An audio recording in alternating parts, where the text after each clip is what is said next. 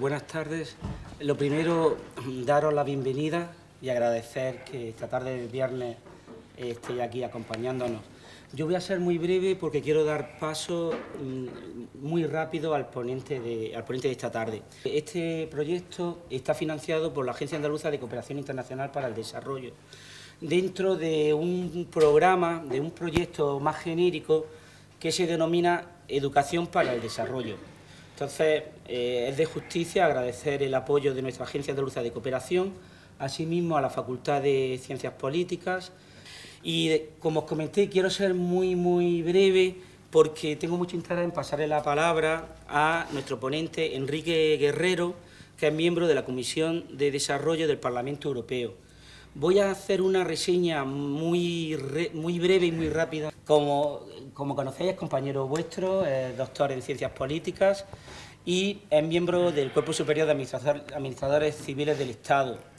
A nivel político, es miembro de la Comisión Ejecutiva del Partido Socialista Obrero Español y ha, ha desarrollado distintas funciones a nivel de Gobierno Nacional, como secretario general técnico del Ministerio de Educación, su secretario de Educación y Ciencia, director adjunto del Gabinete de la Presidencia del Gobierno, por las fechas, creo que la época del presidente Zapatero.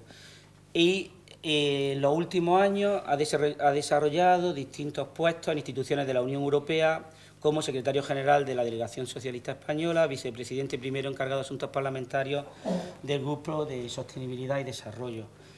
Eh, ha sido, tiene una serie de condecoraciones, solo digo una, como es la Gran Cruz de la Orden del Mérito Civil, y tengo aquí un currículum muy extenso, pero como lo conocéis, tenéis la suerte de que te conocen, no voy a seguir con el currículum, sino que, y lo más importante, vamos a pasar directamente a la conferencia sobre innovación para el desarrollo, la política de cooperación al desarrollo de la Unión Europea en el marco de los Objetivos de Desarrollo Sostenible de Naciones Unidas.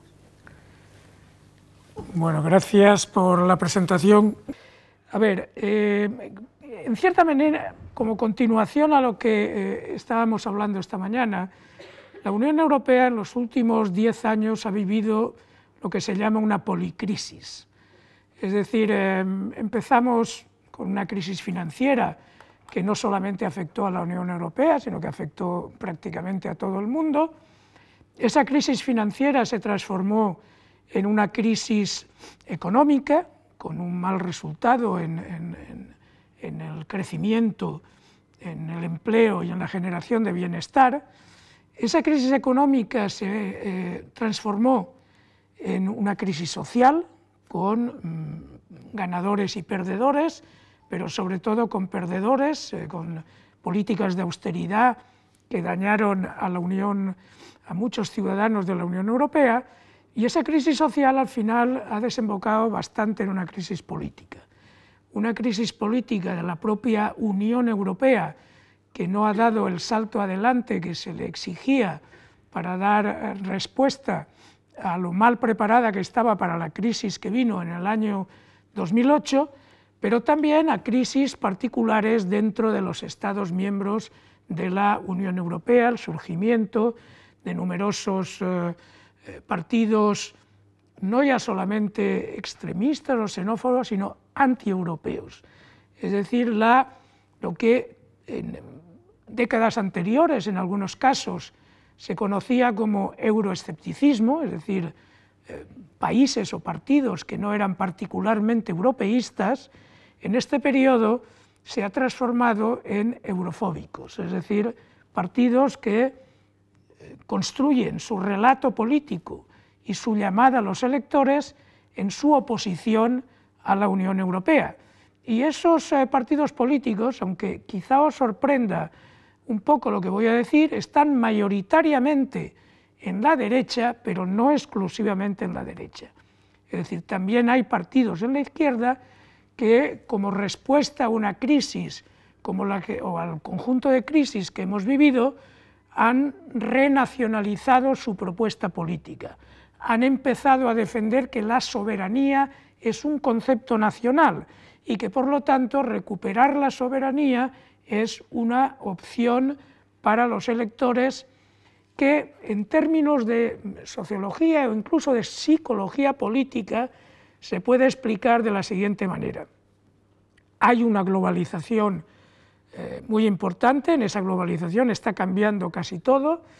Esa globalización no está bien gobernada, no hay instrumentos globales para gobernar el movimiento de capitales, el movimiento de personas, la eh, transformación tecnológica, la digitalización, la robotización, eh, la evasión fiscal, en fin, una serie de fenómenos que no somos capaces de gobernar desde una perspectiva global y eh, hay partidos que proponen que puesto que esa defensa a los ciudadanos no se puede poner en práctica de una manera global, vuelva a ser puesta en práctica por los gobiernos nacionales, una renacionalización de las políticas. Esta es eh, la típica propuesta que eh, es absurda desde el punto de vista operativo. No hay ningún país de la Unión Europea que realmente pueda sobrevivir en un mundo globalizado actuando por sí mismo, no solamente porque hay fenómenos como el cambio climático, como la revolución tecnológica, que no son fenómenos eh, que, cada, que cada país pueda abordar por sí mismo, sino porque además, como esta mañana os apuntaba respecto de lo que somos en población o lo que somos en Producto Interior Bruto dentro de la Unión y que a los efectos de grabación somos el 0,7, eh, perdón, el 7% de la población mundial y algo más del 20% de la economía mundial, sí somos la Unión Europea, pero si cada uno de los países de la Unión Europea actúa por sí mismo, somos prácticamente nada. Es decir, en el año 2030 solamente habrá un país de la Unión Europea que figurará entre los 10 países con mayor Producto Interior Bruto del mundo, que será Alemania, y en 2050 ninguno. De manera que o actuamos conjuntamente como Unión o no seremos capaces de dar respuesta a los retos eh, que tenemos. Bueno, en ese contexto, algunas de las eh, eh, respuestas que ha dado la Unión Europea podemos considerarlas positivas, como por ejemplo la Unión Europea ha aprobado la Unión, luego los países no lo aplican. Volvemos a lo que ya hemos discutido, una tasa sobre transacciones financieras internacionales que mm, muchos dentro de la Unión Europea y dentro del Parlamento hemos defendido que aquello que se obtuviera a través de esa tasa fuera dedicado específicamente a cooperación al desarrollo. A su vez, hemos eh, conseguido como Unión Europea un acuerdo eh, nuclear con Irán, que es un factor de estabilización importante en el mundo. Hemos impulsado el Acuerdo de París sobre el cambio climático, que es la respuesta sustantiva a ese reto sobre el calentamiento global. Hemos eh, legislado contra los paraísos fiscales y de hecho hay algunos pequeños avances eh, en, la transferencia de datos entre eh, los eh, distintos países que forman parte de la Unión Europea y también con países exteriores que en el caso de que no cooperen están sometidos a restricciones en el ámbito comercial, hemos regulado algo que es muy importante desde el punto de vista de la cooperación al desarrollo, que es la lucha contra o el control de los minerales de sangre, es decir, minerales eh, en África en contextos de confrontación que luego son vendidos a los países más desarrollados, en fin, hemos hecho numerosas cosas en ese campo, pero también tenemos grandes deficiencias. Eh, una de ellas es, obviamente, la Unión Europea se debilita con la próxima salida del Reino Unido. El Reino Unido es eh, la segunda economía de la Unión Europea, por tanto la salida del Reino Unido afecta a la Unión Europea como actor global, es una potencia en cooperación al desarrollo, como os he dicho eh, en la sesión anterior, es probablemente el país europeo de mayor dimensión en lo que se refiere a la cooperación al desarrollo. Hemos visto el fracaso en la respuesta a los movimientos de migración y de refugiados dentro de la Unión Europea hemos visto el daño social que ha causado la política de austeridad y en síntesis podríamos decir que hoy la Unión Europea no es mucho más rica de lo que era en 2008, pero es más injusta. Es decir, hay menos convergencia entre los países de la Unión Europea y dentro de cada uno de los países hay más desigualdad entre los distintos sectores sociales. Conviene recordar que eh, hay en torno a 125 millones de europeos que están en riesgo de pobreza o en situación de pobreza. Y esto significa prácticamente uno de cada cuatro ciudadanos europeos. Esto que ha sucedido en la Unión Europea hay que ponerlo en el marco de qué papel ha jugado la Unión Europea en el, el establecimiento de los objetivos de desarrollo sostenible y por qué ha jugado ese papel. Porque esta misma década que acabo sucintamente de describir ha visto cómo el multilateralismo se ha debilitado continuamente, como por ejemplo la Organización Mundial de Comercio es incapaz de regular los acuerdos comerciales entre los países, como Estados Unidos ha abandonado algunos de los acuerdos comerciales que tenía con el Pacífico y ha bloqueado los acuerdos comerciales con la Unión Europea, y cómo además eh, todas las instancias que definen el multilateralismo, Naciones Unidas, la lucha contra el cambio climático, todo esto ha sido eh, muy debilitado por la política de la administración Trump y por eh, el surgimiento de gobiernos de carácter similar o claramente autoritarios, sea en Brasil muy recientemente, pero mucho antes en Turquía, eh, en Rusia, en China y más recientemente en eh, Italia o en el caso, como digo, de, Brasil con las últimas elecciones. Y en este mundo eh, que ha estado sometido a esta crisis intensa o a este conjunto de crisis en la última década y en el que se ha debilitado el multilateralismo, cuyo elemento fundamental es Naciones Unidas, decir, el sistema de Naciones Unidas, la Unión Europea ha querido jugar un papel protagonista y ha jugado un papel protagonista en eh, la definición de objetivos de desarrollo sostenible con un horizonte 2030, con una aplicación al conjunto de la humanidad y en ese sentido con una visión de la globalización, por una parte eh, más eh, equilibrada y por otra parte más comprometida no solamente con elementos de calidad de vida, sino también de sostenibilidad de cara a las generaciones futuras.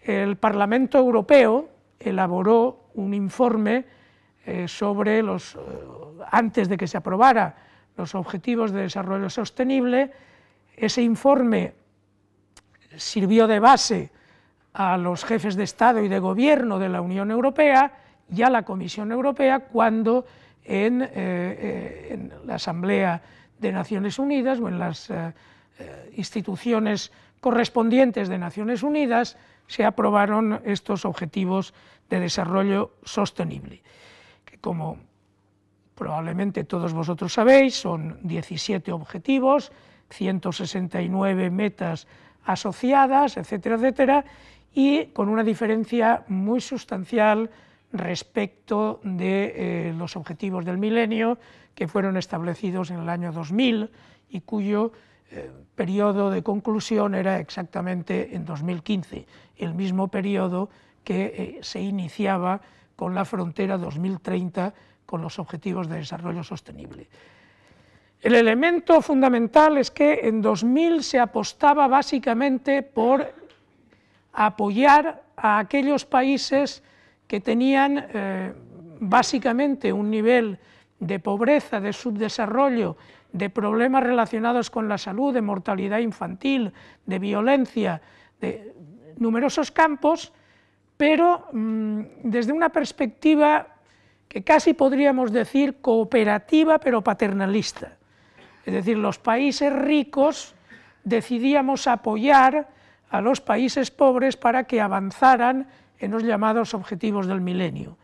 La gran diferencia de los objetivos de, desarrollo sostenible es que partimos del hecho de que la humanidad es una, de que el planeta es uno, de que viajamos en el mismo planeta a través del espacio y que a todos nos compromete que ese planeta sea sostenible y que por lo tanto debemos apoyar a los países pobres para que avancen en la consecución de objetivos propios, pero nos obliga también a los países eh, ricos, digamos, en desarrollar determinados eh, objetivos sostenibles que nos benefician a nosotros, pero a la humanidad en su conjunto.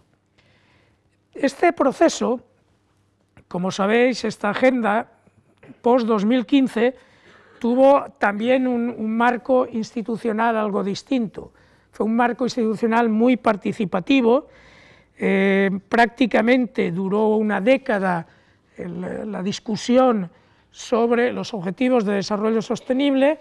Eh, tú me dijiste que estuviste vinculado con Jeffrey Sachs, que jugó un papel importante en esta, en fin, en esta definición dentro de Naciones Unidas, pero eh, que también comportó lo que se llamó una conversación global, en la que hubo 88 diálogos nacionales, hubo 11 diálogos temáticos y hubo una encuesta online eh, en la que participaron más de un millón de personas. Por tanto, no solamente se trata de unos objetivos que compartimos globalmente, sino unos objetivos que para su definición han generado una conversación global, una participación de distintos sectores. Y que, a su vez, como podéis eh, deducir, para su puesta en práctica obliga también a la actuación de los distintos sectores eh, nacionales, fundamentalmente obliga a los gobiernos nacionales, pero es imposible llevar a cabo estos objetivos de cara al año 2030 si no lo hacemos coordinadamente en el marco, en nuestro caso, de la Unión Europea y también más allá de eh, Naciones Unidas. Eh, en realidad, el papel de Naciones Unidas como sabéis, se concreta en el llamado Foro Político de Alto Nivel, en el Consejo Económico y Social de Naciones Unidas y en la Asamblea General de Naciones Unidas. En, eh, todos estos ámbitos del sistema de Naciones Unidas se eh, proporcionan directrices, se comparten eh, experiencias sobre las mejores prácticas a nivel mundial, se comparten datos y eh, se pone en marcha también revisiones nacionales para eh, chequear hasta qué punto estamos acercándonos a ese cumplimiento en el año 2030. Conviene que os diga, sobre todo por, vosotros que sois más jóvenes, que eh, para alguien de mi generación 2030 es algo que está muy lejos pero para vosotros 2030 está a 11 años y dos meses, y que por lo tanto mm, no es tanto tiempo, sino más bien poco, para tratar de eh, asumir en la realidad los compromisos y para poner en marcha políticas que nos lleven a ese cumplimiento.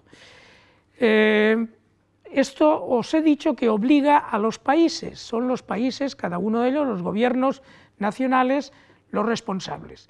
Nosotros hemos, eh, en el Parlamento Europeo, y yo en particular, eh, planteado a la Comisión Europea que debería haber una estrategia común de la Unión Europea que obligara a la Unión Europea como tal a poner en marcha estos objetivos de desarrollo sostenible. Por una razón fundamental, porque como os he señalado, en los últimos diez años la Unión Europea ha divergido más que convergido. Es decir, la distancia entre los países ricos y los países pobres de la Unión Europea se ha ampliado y la distancia dentro de los países también.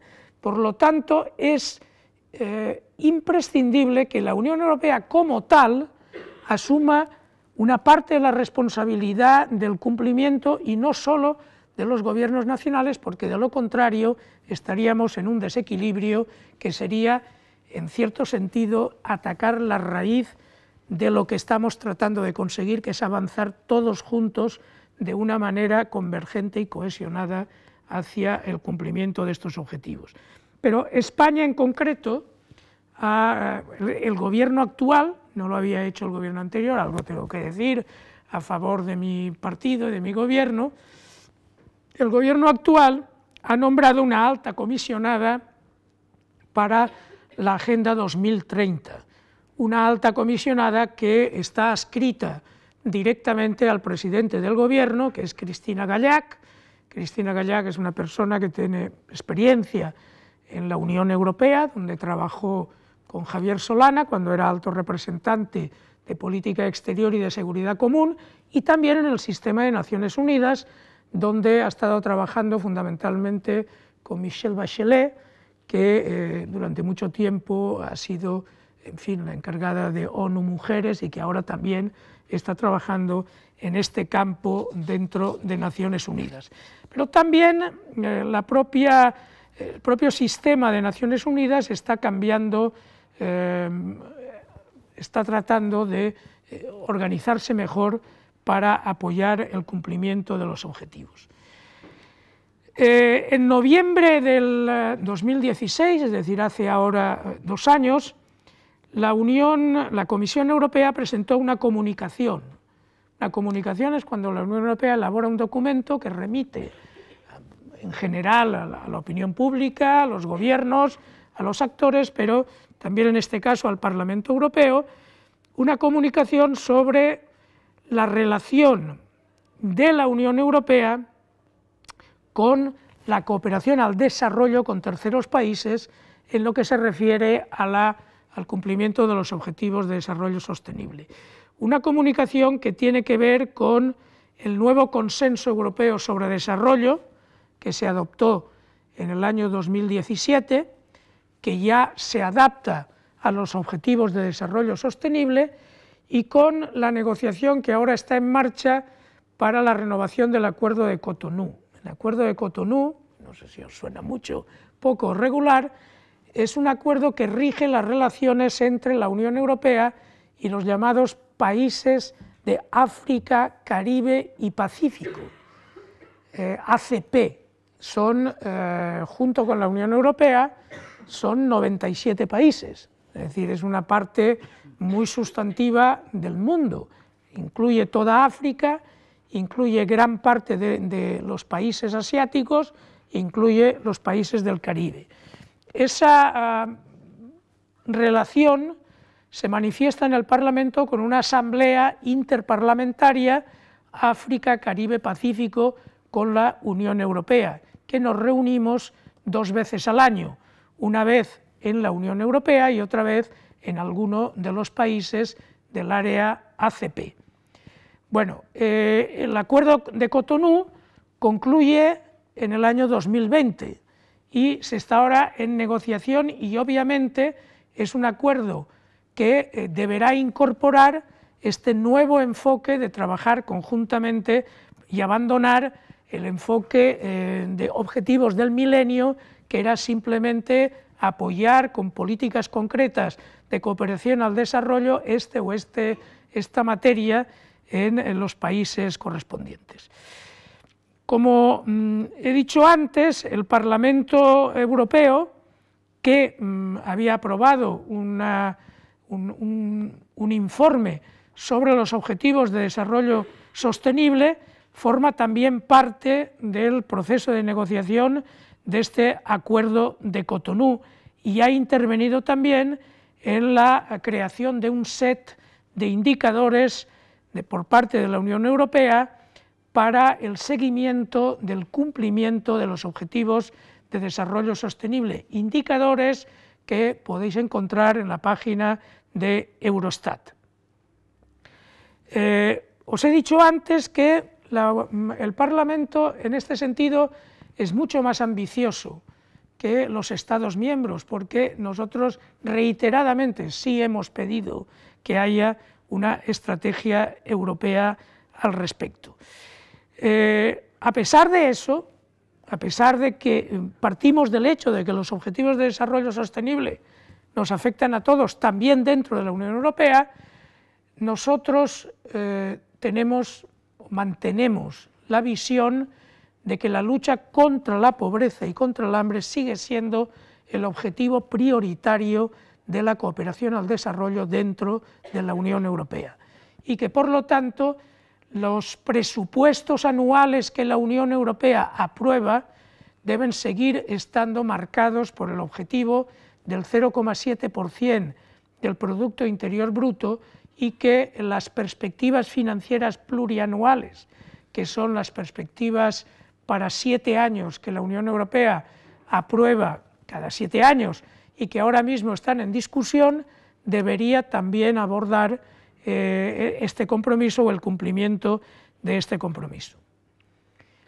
Em, hago una, mm, al margen un comentario. Eh, muchas veces los ciudadanos, con razón, eh, acusan a la Unión Europea, como tal Unión Europea, de no responder a los problemas de la vida diaria de los ciudadanos. Dice, no, es que Europa no cumple, ¿no? Europa, en fin, aquí hay pobreza, aquí hay eh, eh, este problema o este problema o este otro problema, o falta de inversión, o los jóvenes no tienen empleo, la economía eh, no, no, protege a los ciudadanos, el acceso a la universidad no está garantizado de una manera gratuita, etcétera, etcétera. ¿Y qué hace la Unión Europea al respecto? Y yo, en cualquiera de las charlas que doy, siempre hago este comentario que os voy a hacer ahora. El problema de la Unión Europea son los Estados miembros de la Unión Europea. O sea, no es Bruselas, es París, es Madrid, es Roma, es Copenhague, es eh, Berlín, es Helsinki, etcétera, etcétera. ¿Por qué?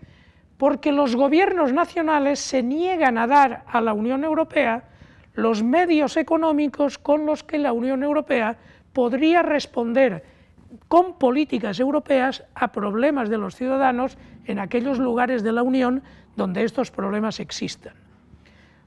Os digo, no sé si lo sabéis, el presupuesto de la Unión Europea es, no llega al 1% del Producto Interior Bruto de la Unión Europea. Un país que vosotros y todo el mundo considera un país eh, poco comprometido con políticas sociales, etcétera, porque es partidario del Estado mínimo, del Estado más reducido, como es Estados Unidos, el gasto público en Estados Unidos es en torno al 30% del Producto Interior Bruto de Estados Unidos. El gasto público en España está cerca del 40% del Producto Interior Bruto de España. Y sin embargo, el presupuesto de la Unión Europea es menos del 1% del Producto Interior Bruto de la Unión Europea. Y cerca del 40% se gasta en política agraria común, es decir, subvencionando producción a los agricultores europeos, algunos de los cuales se benefician en esta comunidad. Y además hay una eurodiputada de Granada, que si me estuviera oyendo en estos momentos, que es Clara Aguilera, decía, ¿por qué te metes con la política agraria común? Lo que quiero señalaros con eso es que la Unión Europea con ese presupuesto no puede resolver para nada los problemas reales de los ciudadanos. Es absolutamente imposible, aunque quisiera.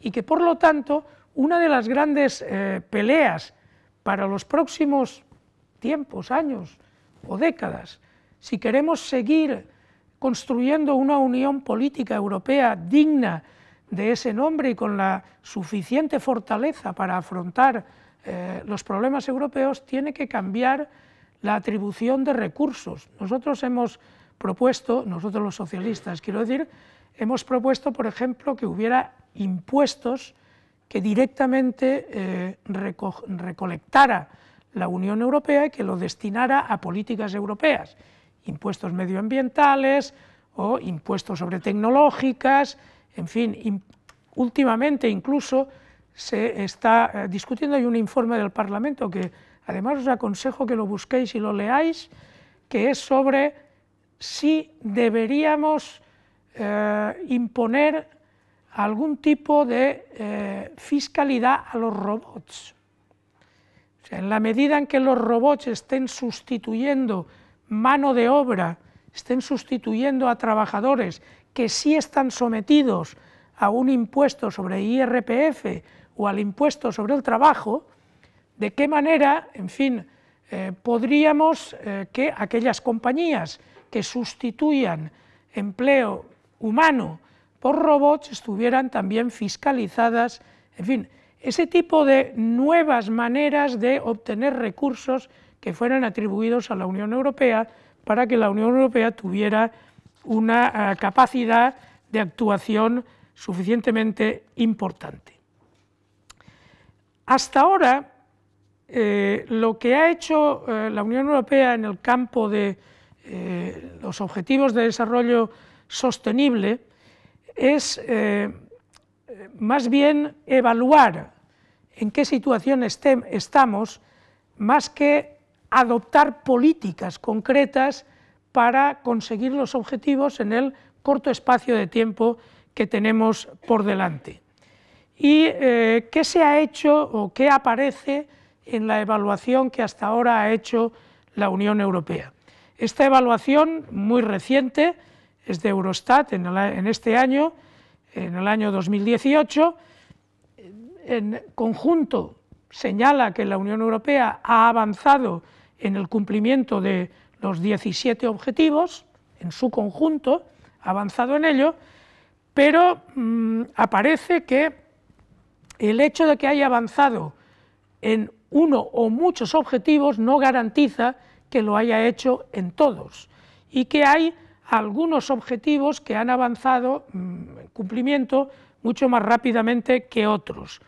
Os señalo qué es lo que dice ese informe. Dice que la Unión Europea ha logrado avances significativos, este es el término que utiliza, en realidad es un término que puede ser muy interpretado, qué significa avances significativos, pero en fin, avances significativos en salud y bienestar, es el objetivo 3, en educación de calidad, objetivo 4, en energía limpia y asequible, objetivo 7, que ha tenido un progreso moderado, que significa menos que avances significativos, para la sostenibilidad de ciudades y de comunidades, objetivo 11, para el consumo y producción, objetivo 12, para la igualdad de género, es decir, aquí solo se ha producido un progreso moderado, teniendo en cuenta que la mayoría de los presentes, en fin, es eh, del género en situación eh, más eh, desequilibrada, ha moderado solamente el progreso en trabajo decente, en partenariado con otros países, es decir, que en lo que se respecta a nuestra ayuda al desarrollo en, el conseguimiento de los objetivos de países pobres de fuera de la Unión, solamente ha habido un progreso moderado en erradicación de la pobreza, en, eh, una traducción, en fin, life land, vida en la tierra, bueno, significa eh, por contraposición de vida en el mar, pero bueno, pues, para que nos entendamos, en hambre cero, en industria, innovación e infraestructura, y ha tenido un retroceso en la reducción de desigualdades. Esto es justamente lo que desde hace rato trato de meter en, vuestra visión de la situación. Es precisamente porque si se deja a los gobiernos nacionales el cumplimiento de los objetivos, siempre se producirá un incremento de las desigualdades dentro de los países de la Unión. Y eh, no se tiene información suficiente sobre agua limpia, sobre el clima, aunque podemos eh, imaginar que dado el conjunto de países, sobre todo de Estados Unidos, que se ha desenganchado de los compromisos del Acuerdo de París, más que probablemente la situación del cambio climático estará eh, en retroceso. la vida bajo el agua, la paz, la justicia y las instituciones. Es decir, que hay objetivos en los cuales se ha avanzado sin saber exactamente en qué punto estamos respecto del cumplimiento, otros en que prácticamente eh, se ha avanzado un poquito, pero no demasiado, y algunos en que eh, hemos ido hacia atrás.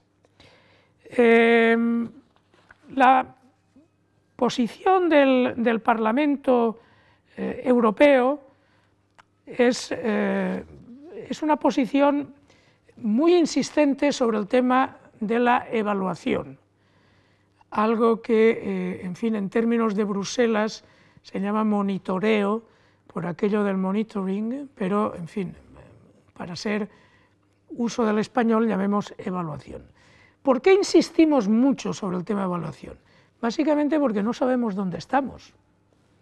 Y como no sabemos dónde estamos, es difícil saber cómo vamos a llegar a lo que pretendemos llegar. Es decir, eh, bueno, hay frases más o menos hechas en, todos los idiomas que dicen, en fin, es difícil llegar a un sitio donde uno no sabe cómo llegar, o donde no sabe exactamente dónde está el sitio al que quiere llegar. Y en ese sentido, eh, hay objetivos en los, objetivos de desarrollo sostenible, hay indicadores, hay compromisos, pero no sabemos en qué punto del trayecto, en qué punto del tránsito estamos para llegar a, ese, a, conseguirlos. Y por eso casi todas las recomendaciones del Parlamento van en la identificación de prioridades en todas las políticas sectoriales de la Unión Europea y en la coherencia de las políticas de la Unión Europea. Ahora volveré sobre la coherencia y, como he dicho antes, en la evaluación, en los informes de perspectivas, en eh, un enfoque cualitativo y no solamente eh, cuantitativo. He hecho referencia a, lo que se refiere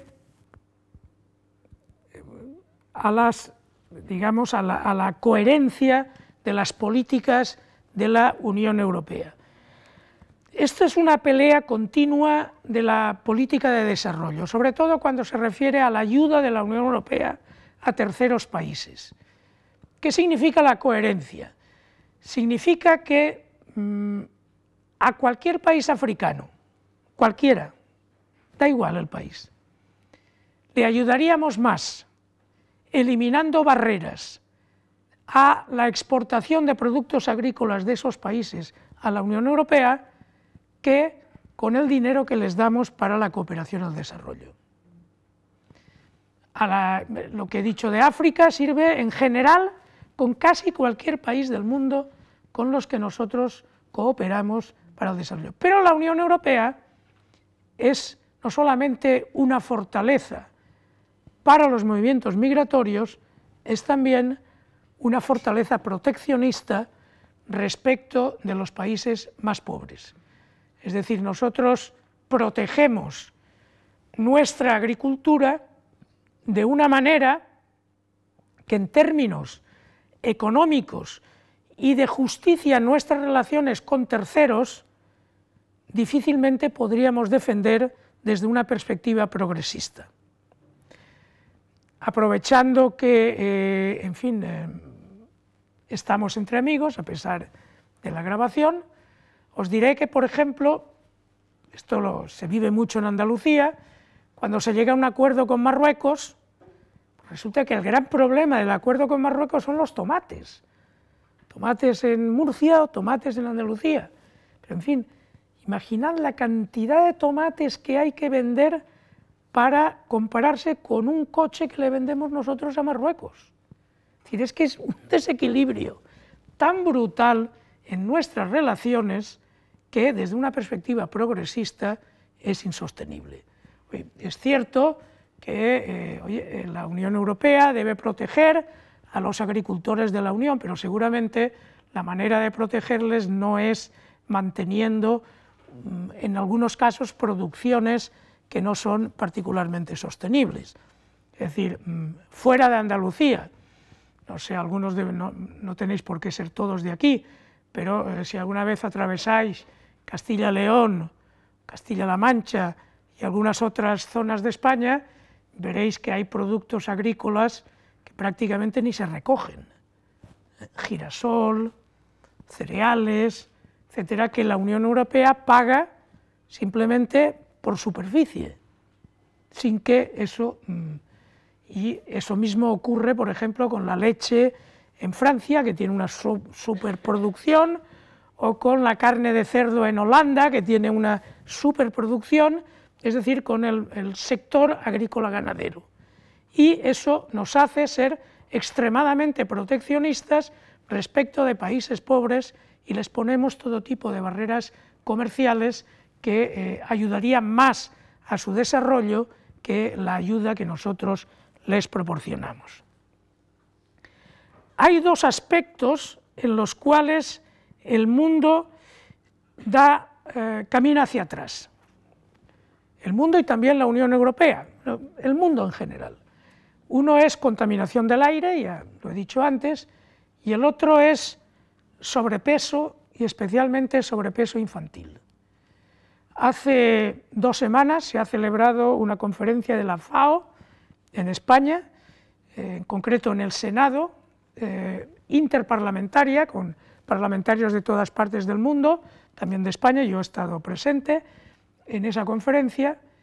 Bueno, eh, en estos momentos hay más personas con riesgos sanitarios por sobrepeso en el mundo que personas en riesgo de morir por hambre teniendo en cuenta que hay unos cuantos centenares de millones de personas que están en riesgo de morir por hambre.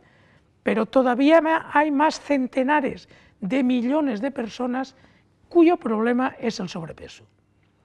Y el sobrepeso se concentra fundamentalmente en países en vías de desarrollo o en países subdesarrollados porque el sobrepeso está asociado a la pobreza. Incluso en los países desarrollados, cuando vemos algunas imágenes, no diré de qué país, da igual, en los que vemos sobrepeso claramente establecido en la población, si indagamos un poco más veremos que se concentra en sectores pobres, en minorías raciales o en minorías de cualquier otro tipo, religiosas, etcétera, etcétera. Es decir, ese es el riesgo para la salud y para el desarrollo más evidente en estos momentos del eh, conjunto de la humanidad. No quiero con eso, y por eso lo subrayo, minimizar el riesgo de morir por hambre, el riesgo mm, de centenares de millones de personas. Hemos hablado de eh, los 70 eh, millones de personas desplazadas que hay en el mundo en situación de crisis humanitaria, casi todas ellas están en situación de hambruna, están en situación de riesgo de morir por hambre y en el mundo con eh, personas eh, infraalimentadas o, cualquiera que fuera la terminología que utilicemos o malnutricionadas, son, eh, como he dicho, centenares de millones. Pero la epidemia que está en marcha es la epidemia del sobrepeso, que no es solamente, obviamente, el sobrepeso, es una epidemia que está asociada a riesgo cardiovascular, a riesgo diabético, a riesgo de enfermedades de muchos tipos que, como he dicho, afectan a los más pobres, entre otras cosas, porque también son aquellos que tienen menos acceso a la sanidad, cualquiera que sea el país en los cuales se encuentran. En estos momentos, eh, todavía en el mundo hay cerca de 500 millones de personas en torno al 6% de la población mundial que eh, se considera que seguirá viviendo en pobreza extrema en 2030. Es decir, que cuando cumpla el ciclo en el que deberíamos haber acabado con la pobreza, en torno al 6% de la población mundial, que es lo que es toda la Unión Europea en estos momentos, más o menos, seguirá viviendo en una situación de eh, pobreza extrema.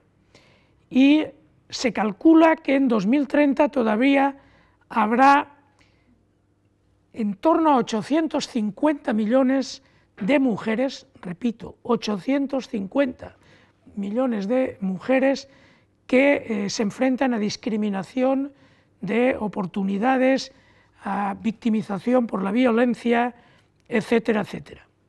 Por tanto, eh, voy poco a poco acercándome hacia el final, eh, de lo que se trata es de poner en práctica políticas concretas que aborden el cumplimiento de estos objetivos de desarrollo sostenible, que esas políticas estén integradas en las políticas generales de la Unión, si pensamos, eh, perdón, de, de cada país, si pensamos en España, pues que Cristina Gallac, la alta comisionada, tenga éxito en poner de acuerdo a los distintos ministerios, a las distintas políticas para caminar en coherencia al cumplimiento de esos objetivos y que dentro de la Unión Europea los 27 países miembros que continuaremos después de marzo del año que viene, seamos capaces también de coordinar nuestras políticas para conseguirlo dentro de la Unión. Para ello, a nivel nacional, también se necesitan planes por comunidades autónomas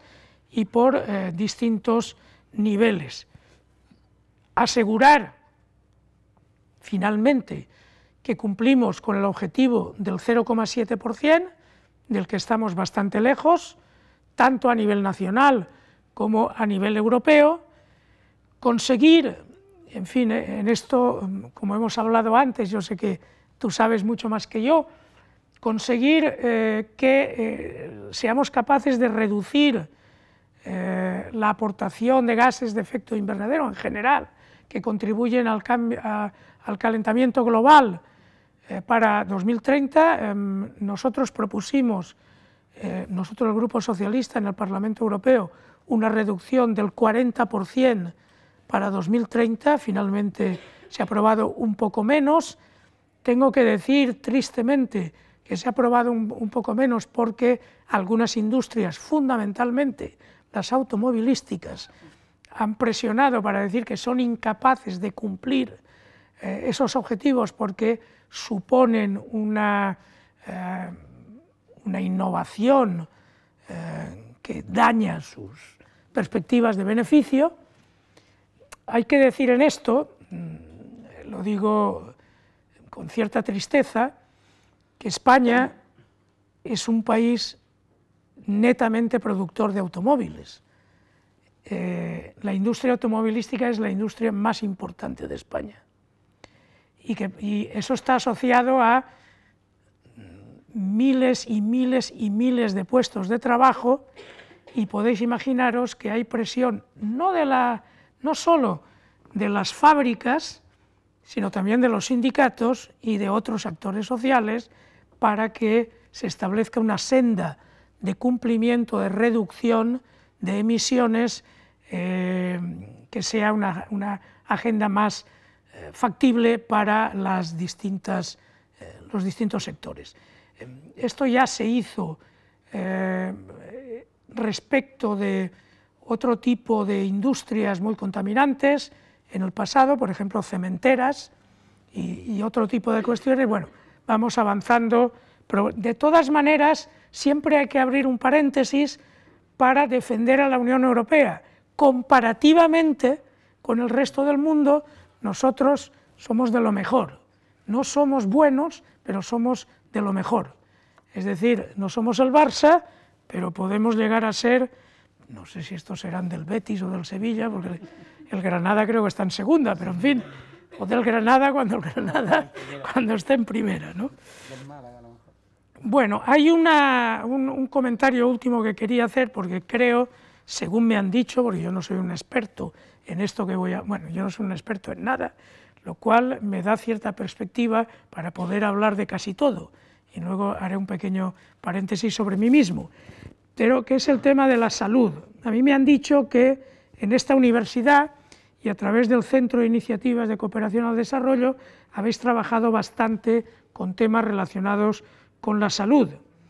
Eh, los objetivos, la, evaluación que hemos hecho hasta ahora eh, en los países señala, en los países europeos, señala que mmm, eh, estamos en peor situación en aquellas enfermedades no transmisibles incluida la salud mental, las enfermedades cardiovasculares y la diabetes, así como en factores de riesgos, prevalencia del tabaquismo, consumo de alcohol, obesidad, etcétera, etcétera. Hay que señalar que mm, se discute el término, yo lo he escuchado últimamente, de enfermedades no transmisibles, porque se señala que si, por ejemplo, eh, tú eres pobre, tu familia es pobre, algunas de estas enfermedades no son genéticamente transmisibles, pero son socialmente transmisibles, porque ha sido alimentado y ha sido eh, educado en un contexto de hábitos de vida que en realidad te transmiten esas enfermedades aunque no proceda de ningún tipo de infección o no proceda de ningún tipo de movimiento eh, de carácter genético. Os he dicho antes que yo no era, eh, en fin, un experto en este tipo de cosas y que eso me daba cierta ventaja comparativa. La ventaja comparativa es que cuando mm, has hablado de qué he hecho yo en el pasado, yo en el pasado he tenido un, tipo de responsabilidades que son mm, un caramelo o tabletas de chocolate negro, a quien le gusta el chocolate negro, para cualquier licenciado en ciencias políticas. yo he sido subsecretario de Educación, Ministerio de Educación y Ciencia, he sido secretario de Estado de Relaciones con el Parlamento, que es el sitio mejor que puede tener un, alguien que, ha trabajado en el campo de ciencias políticas, porque es la relación entre el Parlamento y el Gobierno. En estas dos responsabilidades todavía fue en época Felipe González, pues soy muy mayor, soy un tipo ya, fin, para el arrastre, y he sido director adjunto del gabinete de un presidente del Gobierno cuya función fundamental era escribir discursos. Eso que se llama speechwriter en inglés, que es una profesión muy eh, apreciada fuera de nuestras fronteras y muy ocultada dentro de nuestras fronteras. A ningún presidente de gobierno, ministro, etcétera, consejero autonómico, presidente, presidenta autonómica, etcétera, le gusta admitir que aquello que ha dicho en el Parlamento hay otro que se lo ha escrito. O que ese discurso magnífico que ha dado en la Asamblea General de Naciones Unidas, donde ha presentado el proyecto de alianza de civilizaciones, se lo ha escrito otro tipo, o cosas por el estilo.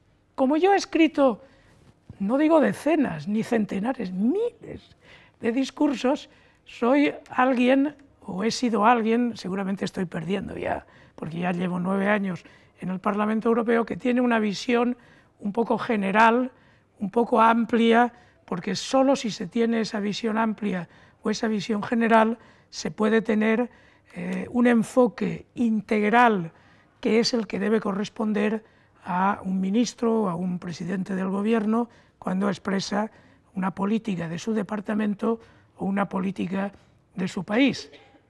Si vais a los discursos parlamentarios de eh, Javier Solana como ministro de Educación, o de Alfredo Pérez Rubalcaba como ministro de Educación, o de Alfredo Pérez Rubalcaba como ministro de la Presidencia, rápidamente, si tenéis alguna capacitación eh, lingüística, veréis que eh, la pluma es la misma. Y no siempre, no siempre, pero en gran medida es la mía. Y por tanto, en fin, esto con esto eh, no, concluyo, porque sería absurdo que concluyera hablando de mí mismo. Pero eh, lo que quería eh, decir con ello es que no creo haberos descubierto nada, justamente porque no soy un experto en objetivos de desarrollo sostenible, lo soy más en ayuda humanitaria, creo que lo habréis notado probablemente esta mañana, pero lo suficiente como para ser un miembro activo de la Comisión de Desarrollo del Parlamento Europeo y saber eh, dónde estamos en lo que se refiere a los objetivos de desarrollo sostenible. Concluyo diciendo que estamos ahora negociando las perspectivas financieras plurianuales. La perspectiva no es buena, la perspectiva de las perspectivas no es buena. Y no es buena por muchas razones, porque los Estados miembros se resisten a aprobar más recursos para la Unión Europea. Pero además, porque no vamos a ser capaces de aprobar estas perspectivas que han de entrar en vigor el 1 de enero de 2021, está todavía un poco lejos, no vamos a ser capaces de aprobarlas antes de que acabe esta legislatura. Y lo que se espera para la próxima legislatura es que la composición del Parlamento sea peor que la composición actual. Es decir, que la presencia de eurófobos, de extremistas, sea mayor de la que es actualmente y que la presencia de las grandes familias políticas del Parlamento Europeo, los conservadores, los liberales, los socialistas, la izquierda democrática, eh, a la izquierda de los socialistas, quiero decir, eh, sea menor de lo que es actualmente. Y como el Parlamento Europeo tiene que dar su consentimiento y luego negociar con el Consejo las perspectivas financieras, el panorama que tenemos ante nosotros no es un panorama especialmente prometedor. Cuando se aprueben estas perspectivas, estaremos ya seguramente en el año 20 y estaremos a 10 años del cumplimiento de los objetivos de desarrollo sostenible. Y, en fin, como no empujéis mucho los que sois jóvenes, etcétera, etcétera, veo difícil que seamos capaces de alcanzarlo.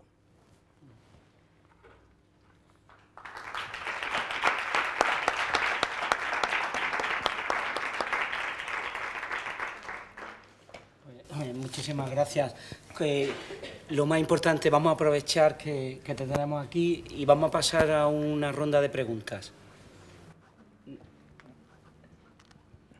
Bueno, ya sabéis que si no preguntáis, yo sigo hablando. Y si no hablo yo.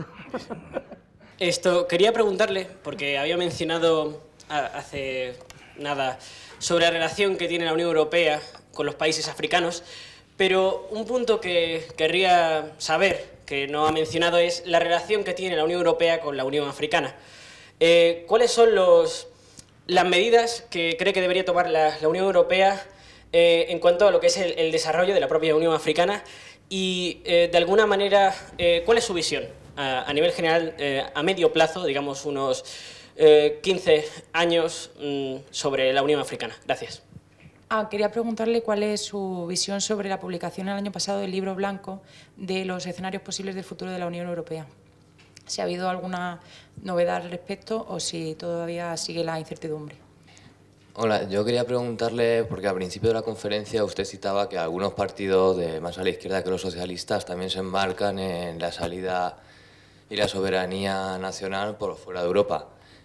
Mm, citando a Julio Anguita, creo que un gran referente, siempre cita que la necesidad de construir una nueva Europa, no de romper Europa. Entonces quería saber cuál es su postura y qué modelo de Europa, si está usted de acuerdo en esto, defendería. Vale.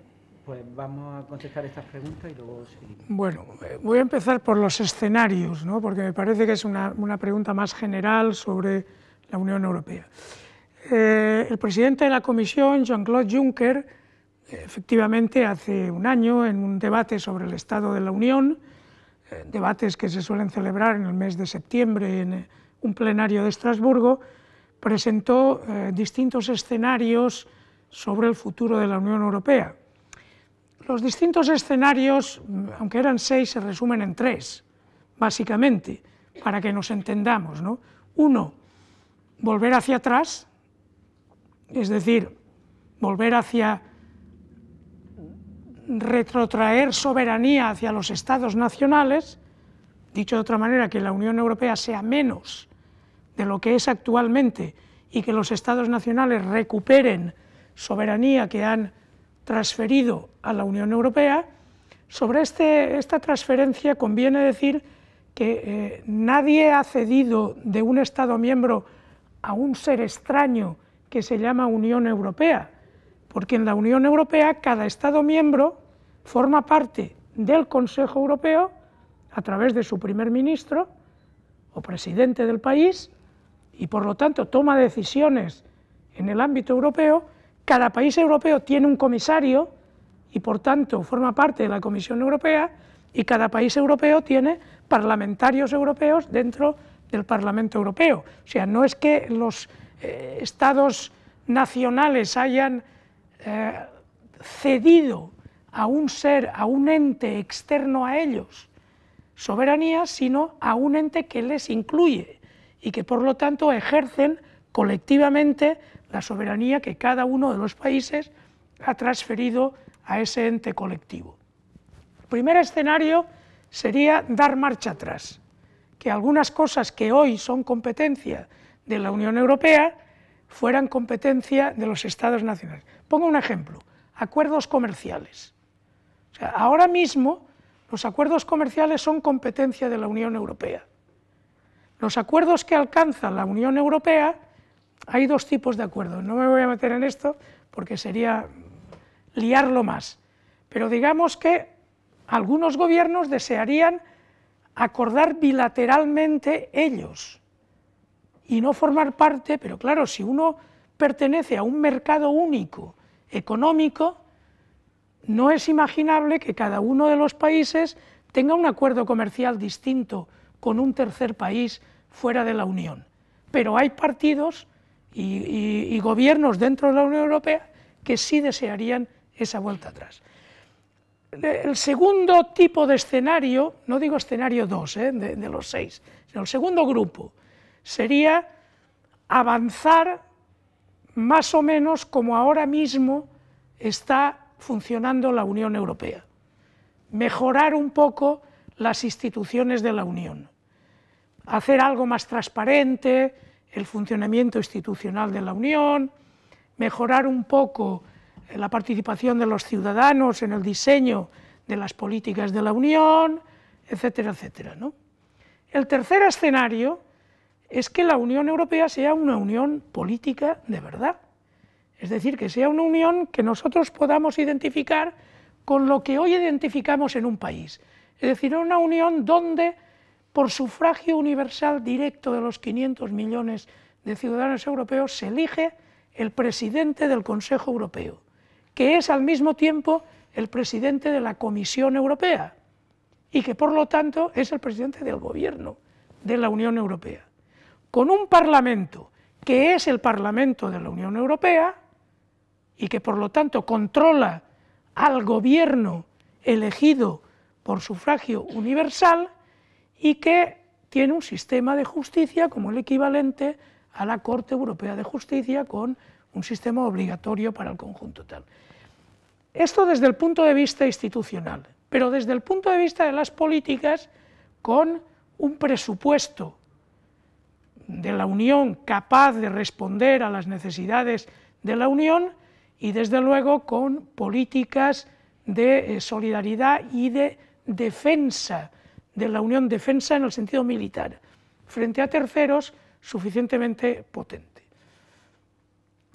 Este tercer escenario es el escenario más comprometido con la ayuda al desarrollo, porque es un escenario en el que la Unión Europea tiene más coherencia, tiene más presupuesto y por tanto puede ser más activa en la cooperación al desarrollo. Y por eso es el escenario que apoyan básicamente las organizaciones no gubernamentales que trabajan en el campo de desarrollo. Es del 1 al 6 el escenario 6. Es el escenario que defiende el grupo socialista en el Parlamento Europeo, como grupo socialista, pero que no necesariamente defiende cada partido nacional socialista dentro de ese eh, socialismo europeo. Sobre la Unión Europea y Unión Africana, eh, todos los años hay una cumbre, Unión Europea, Unión Africana. Bueno, eh, la relación no es especialmente intensa a nivel institucional. ¿no? Quiero decir que, mm, si te lo tuviera que explicar, es más o menos que se reúnen como muchas veces vemos el Consejo Europeo, están día y medio, hay una declaración previamente cocinada, la declaración se parece sustancialmente a la del año anterior, ha habido un speechwriter que se ha dedicado a copiarse a sí mismo, en este caso no soy yo, y eh, bueno, pues eh, en el mejor de los casos se abordan algunas quiebras democráticas en África, algún golpe de Estado, alguna violación de derechos fundamentales, en fin, Robert Mugabe, por entendernos. ¿no? Ahora, la Unión Europea, al margen de la Unión Africana, Unión Europea, la Unión Europea sí ha aprobado, la Comisión Europea, en estos dos últimos años, lo que se llama el Global Compact respecto de África, que es llegar a la conclusión de que nuestra política de vecindad real es la política respecto de África, que nuestros vecinos reales son África y que por lo tanto, si queremos seguridad europea, si queremos estabilidad europea y si queremos ser capaces de manejar los flujos migratorios y eh, la política de refugiados, tenemos que ser capaces de generar desarrollo y buena gobernabilidad en África y por lo tanto incrementar nuestras inversiones. Es verdad que hoy por hoy el tamaño de, eh, de esos programas de inversión comparado con lo que necesita África es muy modesto. O sea, África, creo recordar que necesitaría crear en torno a 5 millones de empleos anualmente en estos momentos y crea no más allá de un millón de empleos. Es verdad que hay todo tipo de economía, eh, en fin, no regulada, marginal, como, quieras llamarla. ¿no? Eh, pero vamos, es un primer paso de concienciación por parte de la Unión Europea que o nos tomamos en serio el desarrollo de África o no es que África no se va a desarrollar, es que nosotros vamos a tener problemas serios en el futuro. El problema de la Unión Africana en una de estas políticas, por ejemplo, la política migratoria, es que Marruecos no forma parte de la Unión Africana.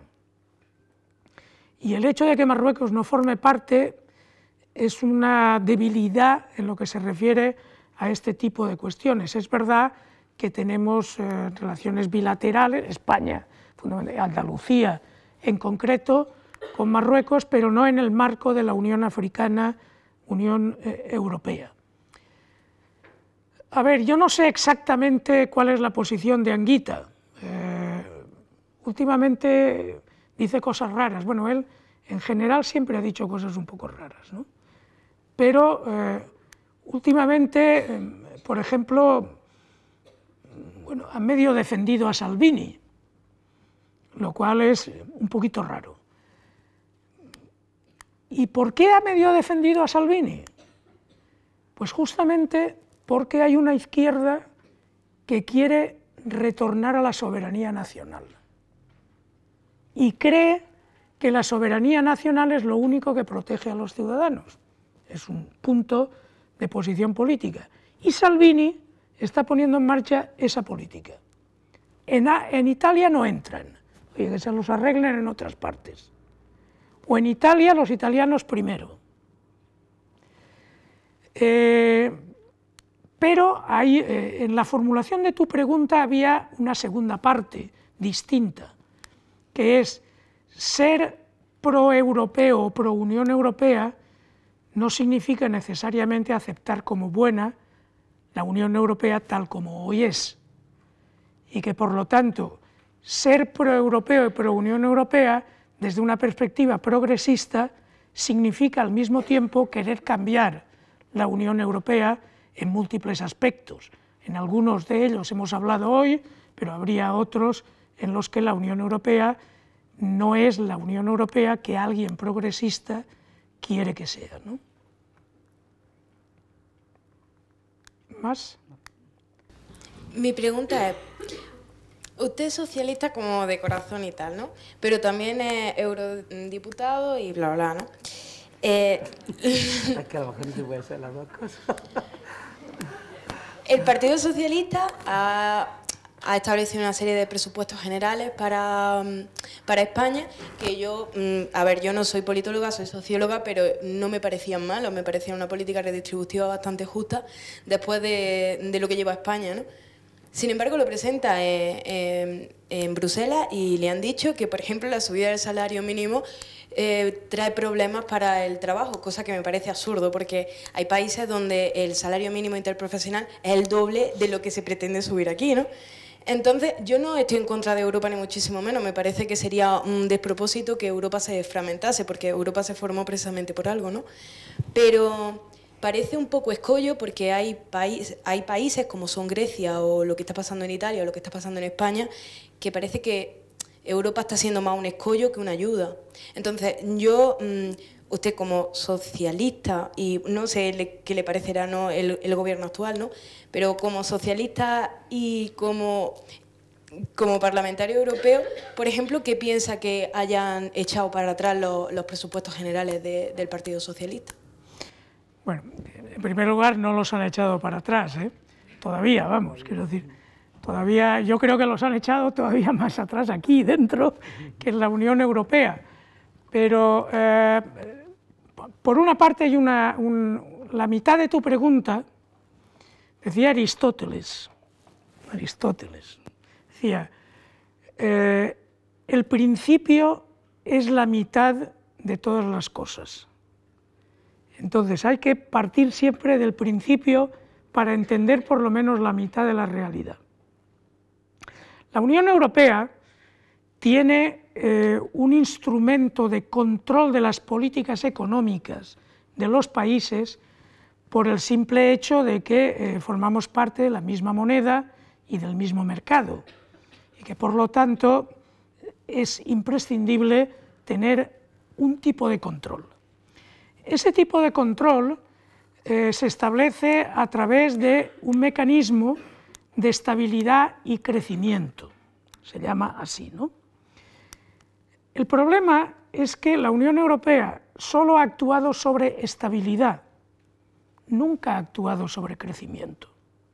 Y no ha actuado sobre crecimiento por lo que yo os he contado, porque no tiene capacidad financiera, fiscal, económica para actuar sobre crecimiento. Quiero decir que la mitad de tu pregunta que se refiere a que Grecia u otros países, no solamente Grecia, es decir, Rumanía, Bulgaria, es decir, hay países que están por, por debajo del 60% de la media de la, de la riqueza de la Unión Europea.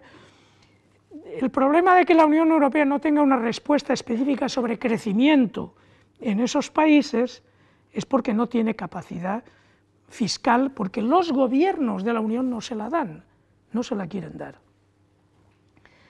La otra mitad de tu pregunta tiene que ver con la estabilidad. Y entonces la estabilidad, la Unión Europea no te dice dónde, eh, cómo tienes que hacer tus presupuestos, lo único que te dice es que tu déficit no puede ser más del 2,1. ¿Cómo respetas tú ese déficit? Lo puedes respetar de muchas maneras, pero por ser eh, más claro, lo más claro posible. Recortando gastos, por tanto austeridad en políticas sociales, menos educación, menos sanidad, menos inversión en tecnología, menos, eh, etcétera, etcétera, o incrementando ingresos, más impuestos eh, sobre energía, eh, lo que sea, o, menos sobre energía, más sobre, sobre CO2, más impuestos, tasa de transacciones financieras, más progresividad en el impuesto sobre eh, la, renta de las personas físicas, más no sé qué, etcétera, etcétera. Este gobierno, que es el mío, eh, no tiene todavía unos presupuestos, pero ya ha anunciado que va a conseguir el equilibrio presupuestario no recortando, sino subiendo dos puntos el marginal del IRPF, poniendo en marcha la, tasa sobre las transacciones financieras, poniendo impuestos eh, eh, verdes, en fin, digamos que mm, hay que quitarse eh, de la cabeza. Yo no estoy defendiendo la política económica de la Unión Europea, que creo que ha sido equivocada en los últimos diez años, y no estoy tampoco defendiendo el enfoque de estabilidad de la Unión Europea. Lo que estoy diciendo es que corresponde a cada país determinar cómo quiere conseguir los objetivos que la Unión Europea le pone. El gobierno Rajoy decidió que era con recortes. Y el gobierno actual todavía no ha decidido porque no tiene aprobado, pero ha anunciado que quiere que sea por ingresos. Y eso es una capacidad que tienen todos los gobiernos de la Unión Europea. Y como socialista, ya que me preguntas, pues yo prefiero que sea por ingresos que no que sea por gasto. Segunda oportunidad para ti y ya nos vamos. Eh, quería enfocarme una vez más en los presupuestos eh, de la Unión Europea en el marco 2021-2027. Eh, tengo entendido de que la propuesta de la Comisión era para la European Defence Fund 13 mil millones de euros. Entiendo perfectamente que es un objetivo importante la European Defence Fund, pero ¿usted cree que es necesario focalizarse tanto en materia económica en, este aspecto? ¿No cree que existen otras prioridades primero? Gracias. supongo que conoces la respuesta, ¿no? Aunque, eh, vamos a ver, mi grupo político, Grupo Socialista del Parlamento Europeo, está en favor de una defensa europea común. Hay múltiples razones por eso. Por ejemplo, ahora mismo una parte del pequeño chantaje, o, no pequeño, de múltiples chantajes de Trump a la Unión Europea tienen que ver porque la Unión Europea se ha acostumbrado a que su defensa está en manos de Estados Unidos. No digo que los Estados Unidos tienen razón en quejarse, lo que quiero decir es que la Unión Europea en algún momento tendrá que hacerse mayor, decir, oye, si yo quiero, bien, si no quiero, tampoco pasa nada, pero no puedo depender de otros para que me defiendan. Ahora, ¿qué ha hecho mi grupo o qué defiende mi grupo? Y también el grupo a la izquierda del grupo socialista, el grupo GUE, ¿no? la izquierda europea. De acuerdo, 15.000 millones, pero con ingresos nuevos, no a costa de otras políticas de la Unión, no a costa de otras prioridades de la Unión, que los Estados miembros, adicionalmente a lo que aportan a la Unión Europea y en razón a su proporción aporten para la defensa común. Pero no estamos a favor de que la defensa se financie, no ya digo a costa del desarrollo, sino a costa de la innovación, a costa de la tecnología, a costa de otro tipo de políticas. Pues eso es todo. Muchas gracias.